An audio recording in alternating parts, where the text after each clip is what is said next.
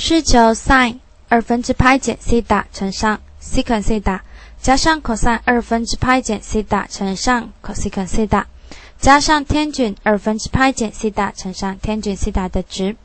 好，那在这里呢，我们利用余角的关系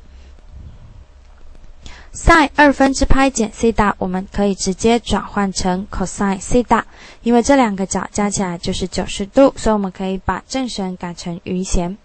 再来，接着乘上 secant 西塔，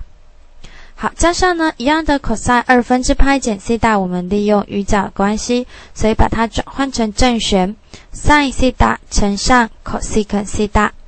接着呢 tangent 二分之派减西塔，我们一样换成正切换成余切，所以 tangent 换成 cotangent 西塔，好，乘上后面的 tangent 西塔。那我们可以知道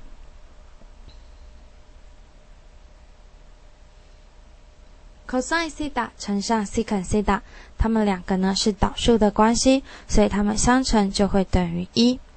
而 sin 跟 cosseca 呢也是导数的关系，所以也会等于一。